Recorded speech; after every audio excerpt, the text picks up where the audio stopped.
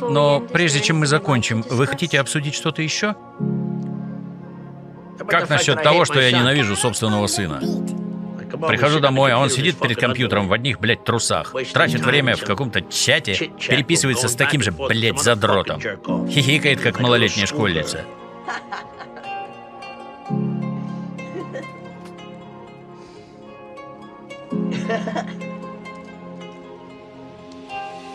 Так и хочется расхуярить ему ебало.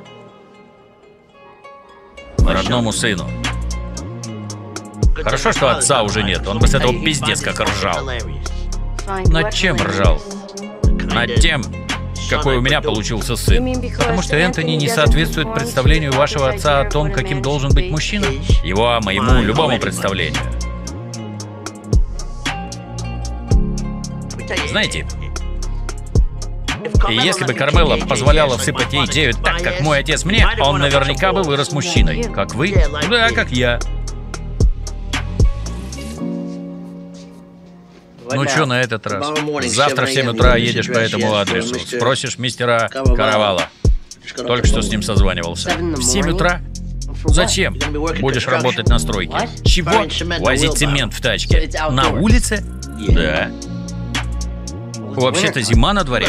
У тебя полно курток с капюшонами, как у баклажанов, которых ты смотришь по MTV. Можешь надеть сразу две. Ну это фигня какая-то. Все, что заработаешь, до цента твое. За аренду мы тебе заряжать не будем. Поверь, платят там хорошо. Это профсоюзная работа. Просто хочу, чтобы от тебя была польза. Ты мой сын. И я тебя люблю. Но работу придется бросить, когда я вернусь к учебе.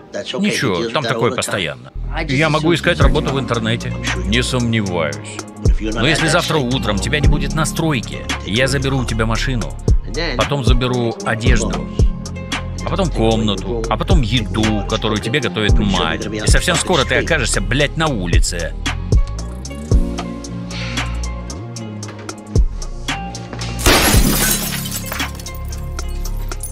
Что ты делаешь?